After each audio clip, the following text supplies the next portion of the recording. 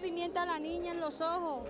Estamos aquí por un mejor futuro, venimos, venimos pasando la selva del Darién, eh, corriendo peligro en esta travesía, en cada paso que damos, los niños sin dormir, sin comer, sin estudiar bien, nada, no estamos haciendo nada, estamos esperando una respuesta porque la verdad...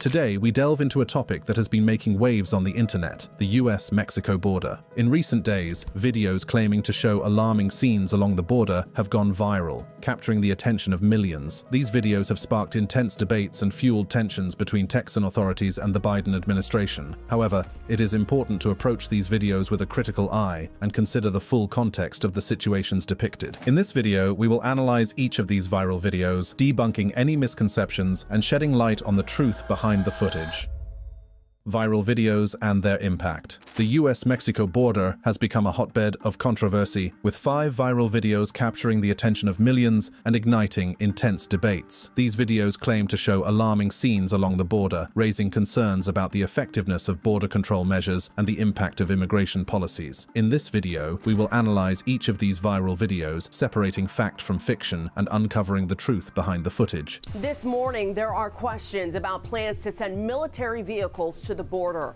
A planning document obtained by the Texas Tribune and the Army Times says the National Guard will deploy armored personnel carriers along the border due to the number of encounters with migrants.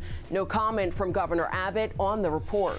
Recently, several videos claiming to show tanks amassing on the US-Mexico border in Texas have gone viral on social media platforms like TikTok and X. These videos have sparked widespread speculation and concern about the escalating situation at the border. One of the videos shows tanks crossing a highway with the claim that the Texas National Guard is sending 10 tanks to combat the invasion at the southern border. This video has garnered hundreds of thousands of views on TikTok and X. Additionally, there have been other similar videos showing tanks and soldiers at the Texas border. However, upon closer examination and fact-checking, it has been revealed that these videos are not what they seem. The landscape depicted in the first video, for example, features pine trees, which is not typical of South Texas. Furthermore, the license plate on a car in the video indicates that it is from Georgia, not Texas. Another clue is the presence of a tank crossing sign, which is actually a stock photo from Fort Stewart Army Post in Georgia. The Texan Military Department has confirmed that the Texas National Guard is not sending tanks to the border and that the vehicles in the video are Bradley M2 or M3 fighting vehicles, not tanks. They also pointed out that the terrain in the video does not resemble Texas, but rather Fort Moore or Fort Stewart, Georgia training areas. A small but fervent group of people rallied to take the border back in South Texas. I think we all as a nation want this to end both Democrats and Republicans. In the video, we witness a convoy of vehicles adorned with anti-immigration slogans and flags making their way towards the border. The protesters, numbering in the hundreds, are seen chanting slogans and waving signs expressing their opposition to immigration. The atmosphere is charged with tension as both supporters and opponents of the protest gather at the border, creating a volatile and potentially dangerous situation. The video also captures the reactions of migrants and asylum seekers who are waiting waiting at the border, hoping for a chance at a better life. Their faces reflect a mixture of fear, frustration, and uncertainty as they witness the protest unfolding before them. The shocking truth behind this protest lies in the underlying issues that have fueled it. The anti-immigration convoy represents a growing sentiment among certain segments of the population who believe that stricter immigration policies are necessary to protect national security and economic stability. On the other hand, opponents argue that such protests only serve to further marginalize and dehumanize migrants and asylum seekers. Right from the start, the tension in the air is palpable. The migrants, driven by a combination of desperation and the hope for a better life, are determined to breach the border. The sheer number of people trying to enter makes the task of the US Border Patrol and security forces incredibly challenging as they struggle to manage the situation.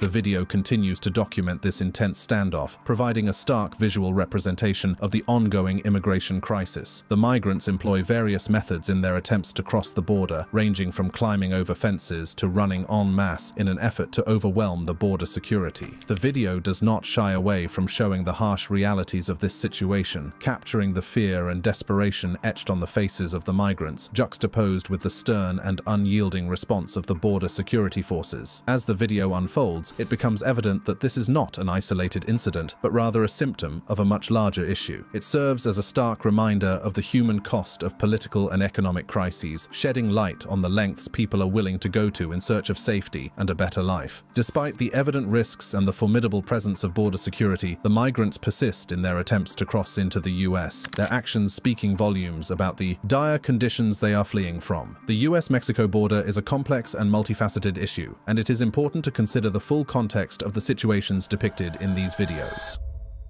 Historical context. The US-Mexico border has always been a hot topic of discussion, and the recent viral videos have only added fuel to the fire. Spanning over 3,000 kilometers, this border has witnessed countless historical events that have shaped its boundaries and influenced the lives of those living along its length. Let's start by going back to the 19th century, when the Guadalupe Hidalgo Treaty was signed in 1848. This treaty marked the end of the Mexican-American War and resulted in Mexico ceding a significant portion of its territory to the United States. The border was officially established, and the stage was set for the complex relationship between the two countries. In 1942, the US and Mexico signed the Mexican Farm Labor Agreement, also known as the Bracero Program. This program aimed to regulate Mexican guest workers in the US. Over a 22-year period, 4.6 million contracts were signed, making it the largest US contract labor program. However, this era also marked a rise in illegal immigration, as many workers who were not qualified to participate in the Bracero program crossed the border border illegally and found work with growers who wanted to keep their costs low. Operation Wetback, launched in 1954, aimed to deal with illegal border crossings by Mexican nationals into the US. Border Patrol agents located, processed, and deported Mexicans who had entered the US illegally, an estimated 1,174,177 people, with half a million from Texas alone. The Immigration and Nationality Act of 1965, also known as the Hart-Celler Act, brought significant changes to US immigration policies. It changed the way immigration quotas were allocated, maintaining per-country limits, but also creating preference visa categories based on immigrants' skills and family relationships with citizens or U.S. residents. This law also brought numerical limits to immigration from Mexico and Latin America for the first time. In the 1980s, Mexico faced an economic crisis, leading to repeated devaluations of the peso. High unemployment pushed more migrants to find work in the United States. That same year, the U.S. Supreme Court ruled that children who were illegal residents had the right to public school education. In the 1980s and 1990s, the US-Mexico border faced new challenges with the rise of drug cartels and illegal drug trafficking. The border became a battleground for law enforcement agencies as they tried to combat the flow of drugs into the United States. This era saw an increase in border security measures, including the construction of fences and the deployment of additional Border Patrol agents. Fast forward to the early 20th century, and we find ourselves in the midst of the Mexican Revolution. This period of political and social upheaval in Mexico led to a wave of migration to the United States. Many Mexicans sought refuge from the violence and instability in their home country, crossing the border in search of a better life. This migration wave laid the foundation for the Mexican-American community that exists in the United States today. As we move into the mid-20th century, another significant event shaped the US-Mexico border, the Bracero program. In an effort to address labor shortages during World War II, the United States and Mexico entered into an agreement that allowed Mexican workers to temporarily migrate to the United States for employment. This program lasted from 1942 to 1964 and had a profound impact on both sides of the border.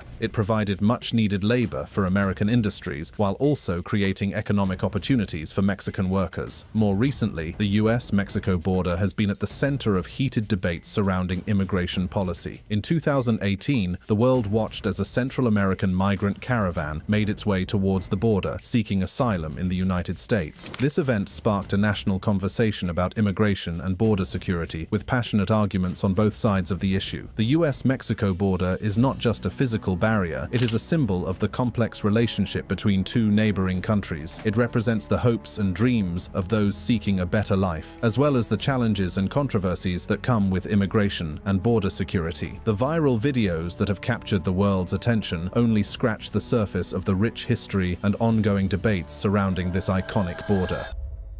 Border dynamics, and migration trends. The US-Mexico border has become a hotbed of activity in recent years, with monthly encounters between US Border Patrol agents and migrants attempting to cross into the United States reaching record highs. According to the latest available government statistics, the number of monthly migrant encounters had fallen to 16,182 in April 2020, but has since skyrocketed to 206,039 in November 2022. These numbers are the highest in over two decades and are on par with the peak reached in March 2000. It's important to understand the different types of encounters that occur at the border. Migrant encounters can be categorized into two distinct events, apprehensions and expulsions. Apprehensions refer to migrants who are taken into custody in the United States, while expulsions involve migrants being immediately sent back to their home country or last country of transit. In November 2022, approximately two-thirds of all migrant encounters ended in apprehension, while the remaining third resulted in expulsion. The demographics of those crossing the border have also undergone significant changes. In the early stages of the COVID-19 pandemic, the majority of migrants encountered at the border were from Mexico and the Northern Triangle countries of El Salvador, Guatemala, and Honduras. However, in November 2022, a majority of the migrants encountered were from countries other than Mexico and the Northern Triangle region. Countries such as Colombia, Cuba, Nicaragua, Peru, and Venezuela have seen a significant increase in encounters at the US-Mexico border. For example, the number of encounters with Colombian nationals has risen from just four in April 2020 to a staggering 15,039 in November 2022. Similarly, encounters with migrants from Cuba have increased from 161 to 34,139 during the same period. Nicaragua has also seen a sharp increase, with encounters rising from 86 to 34,162. Even migrants from Peru have made their way to the US-Mexico border, with encounters increasing from 18 to 8,495. While the number of encounters with Venezuelans has decreased in recent months, it still remains significantly higher than pre-pandemic levels. The sharp increase in encounters can be attributed to various factors. First and foremost, the easing of travel restrictions and the gradual reopening of borders following the initial wave of the pandemic played a significant role. As countries began to recover and economies reopened, individuals and families seized the opportunity to embark on their migration journeys. Moreover, the economic, social, and political instability in several countries, particularly in the Northern Triangle region of Honduras, Guatemala, and El Salvador, has driven many to seek refuge and better opportunities in the United States. These countries have been grappling with high levels of violence, poverty, and corruption, pushing their citizens to make the perilous journey northward.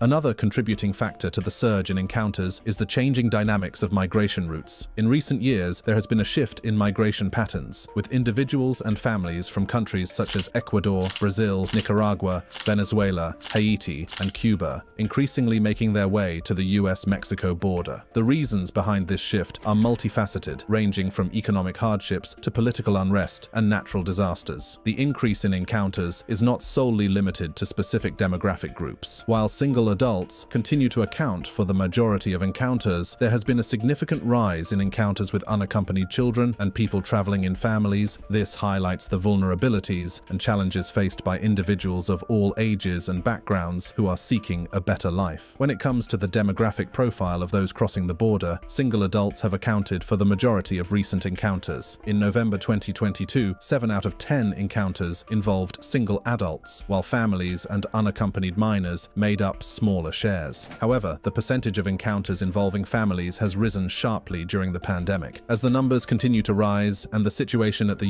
US-Mexico border remains complex, it is crucial to understand the underlying factors driving this unprecedented surge in encounters human stories. The first shocking aspect we need to address is the humanitarian crisis unfolding at the US-Mexico border. The surge of migrants, including families and unaccompanied minors seeking refuge and a better life, has overwhelmed the border infrastructure and resources. One of the most distressing facts is the overcrowding of detention centers. These facilities, designed to hold a limited number of individuals, are now packed beyond capacity. The lack of adequate space, sanitation, and medical care has created dire conditions for those those seeking asylum. One story is of a young man who risked everything in search of a better life. He left his family behind and embarked on a treacherous journey, crossing the border in the dead of night. The video shows the fear and desperation in his eyes as he recounts the harrowing experiences he faced along the way. Another story introduces us to a mother who was forcibly separated from her children at the border. The anguish and heartbreak in her voice are palpable as she describes the pain of being torn apart from her loved ones. This video serves as a stark reminder of the devastating consequences of the family separation policy. And then there's the story of a migrant who found himself caught in the crossfire of the border crisis. He shares his story of being detained and held in overcrowded detention centers where basic human rights are often disregarded. The video exposes the harsh realities faced by migrants who are simply seeking a better life for themselves and their families. These stories not only highlight the struggles and sacrifices of individuals like Luis, Laura, and Jaime, but they also shed light on the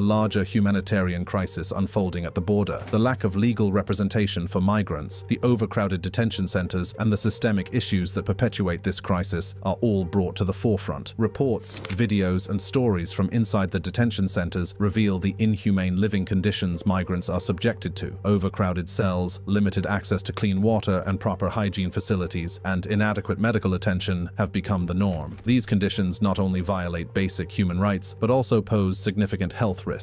Perhaps the most heart-wrenching aspect of the humanitarian crisis is the plight of children. Many videos depict young children separated from their families, living in overcrowded and unsanitary conditions. The emotional and psychological toll on these vulnerable individuals is immeasurable. Another shocking reality is the limited resources available to address the growing number of migrants. Border Patrol agents and humanitarian organizations are stretched thin, struggling to provide essential services and support to those in need. The lack of sufficient medical care is a critical issue within the humanitarian crisis. Many migrants arrive at the border with pre-existing health conditions or injuries sustained during their journey. However, the overwhelmed healthcare system at the border often fails to meet their needs, resulting in prolonged suffering and even preventable deaths. Language and cultural barriers further exacerbate the challenges faced by migrants. Limited access to translators and cultural sensitivity training for border officials hinders effective communication and understanding. This not only impedes the provision of necessary assistance, but also adds to the overall distress experienced by migrants. The humanitarian crisis has created an environment of vulnerability, leaving migrants susceptible to exploitation and abuse. Disturbingly, the border crisis has provided opportunities for human traffickers to exploit vulnerable individuals. Videos have exposed cases of human trafficking where migrants, desperate for a chance at a better life, fall victim to criminal networks seeking to profit from their desperation. The humanitarian crisis has also heightened the risk of sexual and gender-based violence against migrants, particularly women and children. The lack of security and protection measures within the overcrowded detention centers and along the migration routes leaves individuals vulnerable to abuse and exploitation. The humanitarian crisis at the US-Mexico border is a shocking reality that demands immediate attention and compassionate action. The overcrowded detention centers, limited resources, and the vulnerability of migrants, especially children, are deeply troubling surge in migration. December 2023 has seen an unprecedented surge in migration at the US-Mexico border, with over 10,000 migrants per day, mostly asylum seekers, arriving at the border. This surge is happening despite a sharp drop in US-bound migration through Panama and Honduras since October. The Border Patrol sectors experiencing the most arrivals are Del Rio and El Paso in Texas, Tucson in Arizona, and San Diego in California. False rumors and misinformation have contributed to this surge, with some migrants being misinformed about the need to travel now due to the US government potentially closing the border and shutting down the CBP One app. To address the overwhelming number of migrants, CBP has closed several ports of entry and bridges, and even closed railroad bridges that account for a significant amount of train cargo between the United States and Mexico. However, migrants are still finding ways to cross the border, including crossing atop trains and soaring through segments of the border wall. The situation has reached a breaking breaking point, with CBP processing facilities at 130% capacity and Border Patrol agents struggling to keep up. The increase in migration is not limited to one specific area. While there has been a general westward shift in migration away from Texas and towards Arizona and California, Texas is now seeing significant increases in Border Patrol sectors such as Del Rio and Eagle Pass. In fact, Representative Tony Gonzalez, who represents the Texas-Mexico border area, recently visited a holding facility in Eagle Pass that was nearly six times over capacity. The surge in migration has also led to political fallout, with President Joe Biden and Mexican President Andrés Manuel López Obrador discussing the issue. However, public perceptions of the border situation are providing momentum for the Trump campaign going into the 2024 election. In Democratic-leaning El Paso, there is growing fatigue among the Mexican-American population with the influx of migrants, leading to concerns about voter enthusiasm and turnout. While migration is increasing at the US-Mexico border, it is decreasing along the US-bound migration route further south. Panama, Honduras, and Mexico have reported fewer people coming, indicating a shift in migration patterns. However, the reasons for this divergence are unclear, and it is possible that the population crossing into the United States now is more Mexican and Central American, which is not captured in Panama's or Honduras's statistics. In addition to the surge in migration, there have been significant developments in Congress regarding asylum restrictions and Ukraine aid. The US Congress has adjourned for 2023 without reaching an agreement on Republicans' demands for new restrictions on asylum and other migration pathways. These restrictions are their main condition for supporting a $110.5 billion package of aid to Ukraine and Israel, new border spending, and other priorities. Negotiations between a small group of senators and senior Biden administration officials have not yet produced a consensus framework, and the issue will be taken up again when Congress returns in January. Meanwhile, Texas has launched a harsh new immigration law, making unauthorized border crossings into the state a state crime. Migrants who decline to return immediately to Mexico upon arrest will be jailed, but Mexico is refusing to accept returnees from the Texas state government. Civil rights groups have filed a legal challenge to block the law, citing racial profiling and violation of civil rights international perspectives, and global relevance. The US-Mexico border has long been a topic of international interest and debate. It serves as a dividing line between two countries with vastly different socio-economic and political landscapes. The border is not only a physical barrier, but also a symbol of the complex relationship between the United States and Mexico. One of the key international perspectives on the US-Mexico border is the issue of drug trafficking. The border has become a major transit point for drug cartels who smuggle narcotics into the United United States. The videos that have gone viral shed light on the extent of this problem, showing the audacity and creativity of these criminal organizations. From hidden compartments in vehicles to tunnels under the border, the methods used by drug traffickers are shocking and alarming. Another aspect of the US-Mexico border that has global relevance is the issue of illegal border crossings. The videos capture the desperation of individuals who are willing to risk their lives to cross the border in search of a better life. These images have sparked debates about about immigration policies and the treatment of migrants not only in the United States but also in other countries around the world. The videos serve as a reminder of the human cost of border enforcement and the need for comprehensive immigration reform. However, when it comes to Mexico's leadership, the opinions are more divided. A significant number of US adults, approximately 38%, hold an unfavorable view of Mexico's government, while only 12% have a favorable view. The remaining respondents either did not have a favorable or unfavorable view or were unsure. These results shed light on the complex perceptions Americans have of Mexico's government, highlighting the need for a deeper understanding of the factors influencing these views. The international perspectives on the US-Mexico border also extend to the economic impact of border policies. The border region is a hub for trade and commerce, with billions of dollars worth of goods crossing the border each year. The videos highlight the challenges faced by businesses and individuals who rely on cross-border trade, as well as the potential economic consequences of stricter border controls. Furthermore, the US-Mexico border is not an isolated issue but part of a larger global phenomenon. Borders and migration are topics of concern in many parts of the world, from Europe to the Middle East. The videos provide a glimpse into the broader challenges faced by countries grappling with issues of migration, security, and sovereignty. They serve as a reminder that the US-Mexico border is just one piece of a complex puzzle that requires international cooperation and dialogue. In conclusion, the viral videos of the US-Mexico border border have sparked international interest and shed light on the complex issues surrounding border enforcement, drug trafficking, and immigration. They have brought the global relevance of the US-Mexico border into sharp focus, highlighting the need for comprehensive solutions and international cooperation. As we continue to explore these shocking revelations, let us remember that the US-Mexico border is not just a physical barrier, but a symbol of the challenges and opportunities that exist in our interconnected world. Stay tuned for more updates on this ongoing issue. If you like videos like this, then click on the card being recommended to you right now.